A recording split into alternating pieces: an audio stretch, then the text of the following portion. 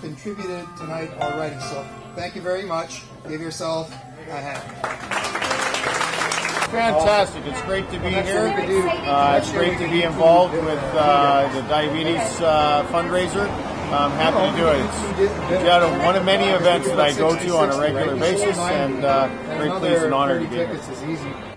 So for me, I have adapted to my lifestyle as a diabetic very well. I love sports, and some of what I love is swimming, gymnastics, soccer, and volleyball. So I play a lot of sports. My top sport right now is soccer, and the last year I played on one of Chilliwack's rep teams, and this spring, this spring, I made a Chilliwack tournament team, and so I'll be going to the States for some tournaments. And very soon I was trying out for the fall rep team, and I just found out I made the gold team, so that's good.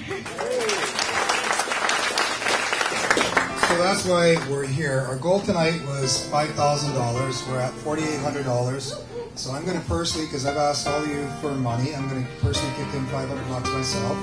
So we're at 5,300. So So just appreciate that everyone here, you know, we don't support each other to make ourselves better. We do it for everyone else, and we're grateful for that. So thank you. And in the end, it all goes to this great cause at JDRF, and hopefully, you know, sooner than later, there'll be a cure for that. So thank you for coming. second year in a row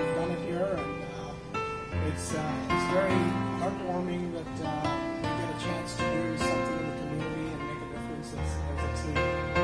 I'm diabetic myself. It, it brings uh, hits home, if you know what I mean, with, with this event. Uh. So it's just really nice that you're all out here to support and make some money so that they can do research and